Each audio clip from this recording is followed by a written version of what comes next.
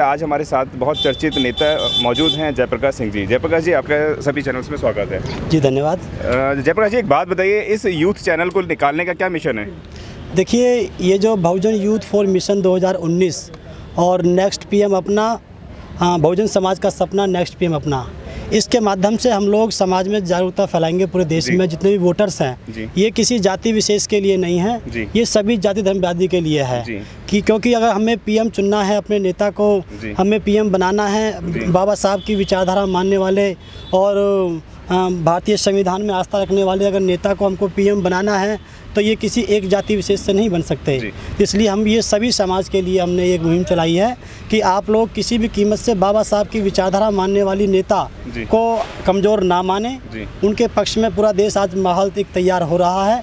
बाकी हम लोग जाकर के माहौल तैयार करेंगे लोगों को मोटिवेट करेंगे और सभी समाज के लोगों से हम लोग अपील करेंगे कि आप लोग अब की बार हम्म, भारतीय संविधान में आस्था रखने वाली नेता को अब की बार इस देश का पीएम चुने। जी।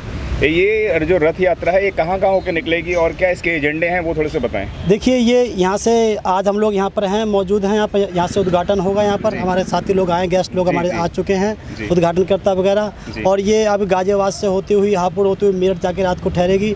उसी प्रकार से फिर फिर आपका बागपत शामली सहारनपुर बिजनौरा होती हुई इसी प्रकार से पूरे उत्तर प्रदेश के अधिकांश डिस्ट्रिक्टों को टच करती हुई ये वापसी एक तारीख को दिल्ली पहुँचेगी।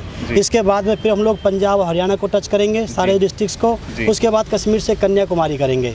तब तक ये चुनाव समाप्त हो जाएगा विधानसभा का। उसके बाद आउटर स्टेट को कवर करेंगे। इस प्रकार से पूरे देश में माहौल तैयार करेंगे हम लोग। जी। 2019 को लेकर बहन कुमारी मायावती के बारे में बताएँ कि कहाँ तक आप समर्थन कर रहे हैं क्या है वो? देखिए ये तो पूछने वाली बात तो कुछ है ही नहीं। जी। मैं देखिए आज बहन जी ने जो इतना बड़ा जो मुझे प्यार दिया था जी। ऐसा लोग बहुत चक्के भी रह गए थे बहुत से लोग कि इतनी जल्दी इतने छोटे से मामूली से आदमी को इतना बड़ा प्यार बहन जी ने कैसे दे दिया? तो बहन जी ने जो मुझे विश्वास जताया है मेरे ऊपर आज देश में एक बहुत बड़ा चर्चित चेहरा जो मुझको बनाया है तो उनका एहसान मैं ज़िंदगी भर नहीं भूलूँगा और उन्हीं के लिए मैं काम करता रहूँगा। उनको मैं पहले नेता मानता था अभी भी नेता मानता हूँ। ज़िंदगी में उन्हीं को मैं नेता मानता रहूँगा। और बहन जी ने मुझको देखी साथियों और मैं आपको बताना चाहता हूँ बहन जी ने मुझको ये बनाने से पहले प्रभारी बनाने से पहले मुझसे तीन वचन लिए थे एक कमरे में।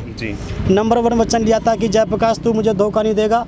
और नंबर टू वचन लिया था कि तू कभी अपने घर वापस नहीं जाएगा। और नंबर तीन ये था कि तू कभी शादी नहीं करेगा। तो दोनों की बात तो अभी कोई बात बनती नहीं है, कोई दिखती नहीं है। ये तो है ही नहीं किसी भी कीमत पे। लेकिन एक चीज़ पे आजमाने का काम किया मान्य बहन जी ने। जब मुझको पार्टी से हटाया और निकाला तो मैं आज भी बहन जी को धोखा किसी भी कीमत में नहीं दूँगा। बहन जी ने जो पहचान दी है, उसके बदले में मैं उनका एहसान तो खैर नहीं चुका सकता। लेकिन फिर भी जितना मैं हो सकता हूँ, अपनी आखिरी खून के कतरा को बहन जी को इस देश का पीएम बनाने के लिए काम करूँगा। जयप्रकाश जी कहते हैं कोई पूछता ना था तेरी बंदगी से पहले तूने मुझे छू के अनमोल बना दिया तो मैं जो जो अपना समर्पण है अपना डिवोशन है पूरा बहुजन समाज के लिए रखूँगा। लेकिन आप बहुजन समाज के लिए समर, समर्पण करते हैं बीएसपी के लिए समर्थन करते हैं उसके बावजूद भी आप एक भीम आर्मी करके मंच है उस पर भी आप अ, की उपस्थिति थी जिसपे आपकी क्रिया प्रतिक्रिया बहुत ज़्यादा पूरा देश विदेश से सारी जगह से आ रही है। उसके बारे में बताइए जरा। देखिए ये मैंने पहले भी खुलासा किया था। जी। भीम आर्मी के मंच पर जाने से पहले हम लोग चंद्रशेखर भाई से उन जेल में जाकर के मिले थे। जी। उन्होंने ये कहा था कि हम बहन जी को पीएम लाना चाहते हैं। जी। मैंने कहा भाई मैं पार्टी से निष्कासित हूँ और इस समय मैं फ्री हूँ। फ्री होने का मतलब यह है कि जितने भी सामाजिक संगठन किसी भी समाज के हों जितने भी सामाजिक संगठन जो। बहन जी को पीएम बनाना चाहते हैं मैं उन्हीं सभी के उन्हीं सभी सामाजिक संगठनों के मंच पर जाने के लिए तैयार हूँ। तो इस बात पर उन्होंने कहा कि ठीक है आप हमारे मंच पर उधर जाइए। तो हमने आपस में हमारा आ, आ, एक तरह से बातचीत हुई और उसके बाद हम गए। लेकिन जब उसके बाद में जब वो जेल से बाहर आए तो उन्होंने ये कहा कि मैं गठबंधन के साथ हूँ। तो हम इस लायक नहीं हैं कि हम ये कह सकें कि बहन जी गठबंधन करती है तो ठीक है नहीं करती है तो कोई बात नहीं।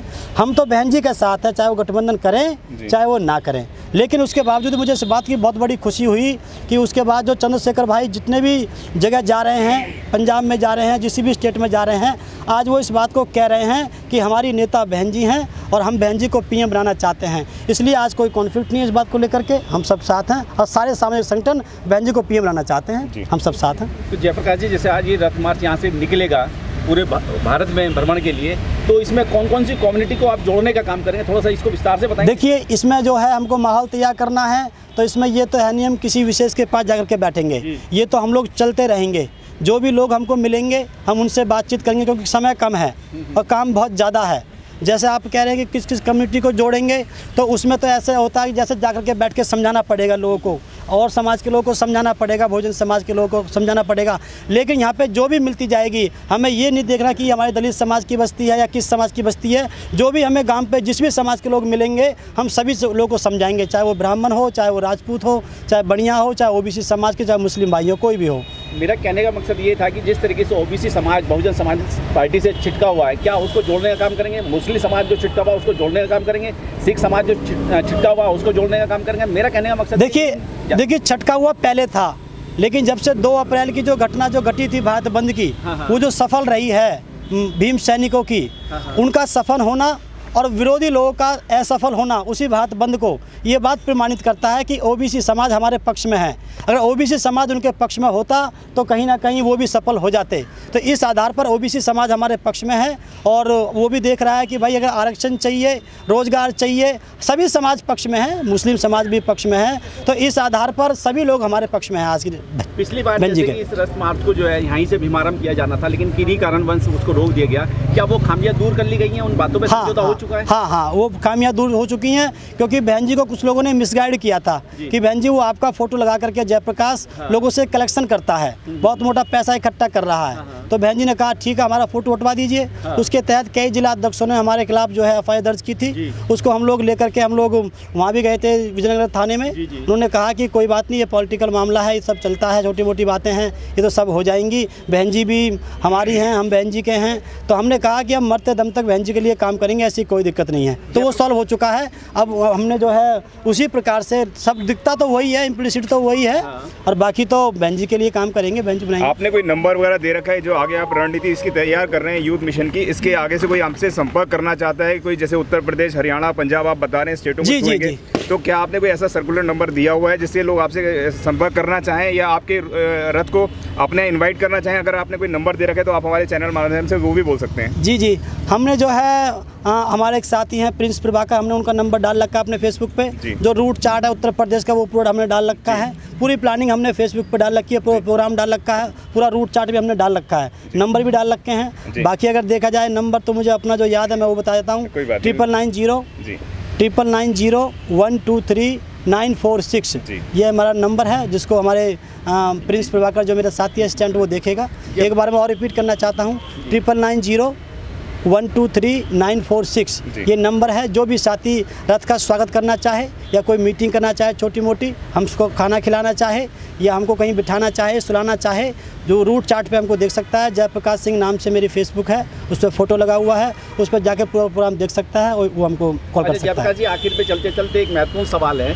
आप आज जो है देश के युवाओं की एक धड़कन बन चुके हैं और उन युवाओं के लिए राष्ट्र हित में क्या कहना चाहेंगे 2019 के लिए? देखिए मैं तो ये कहना चाहूँगा सभी युवा साथियों से कहना चाहूँगा कि जाति प्रथा जातिवाद के से ऊपर उठ करके देश के हित के बारे में आप लोग सोचो।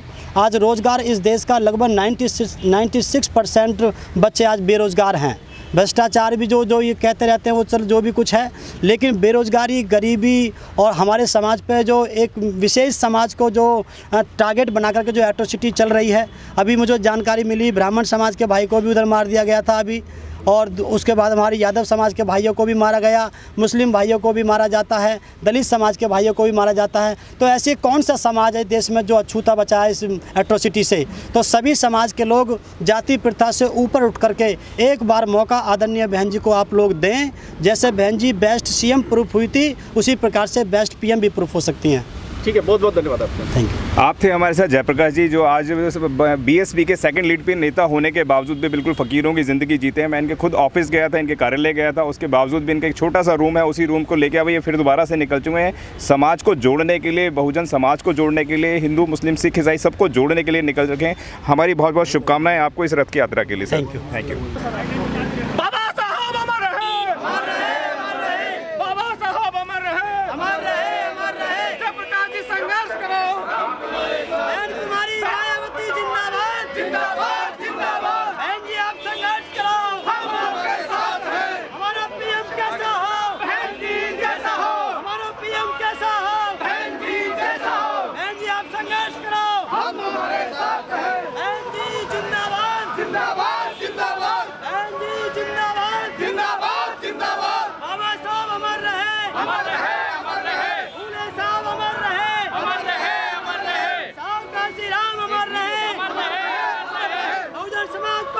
জিন্দাবাদ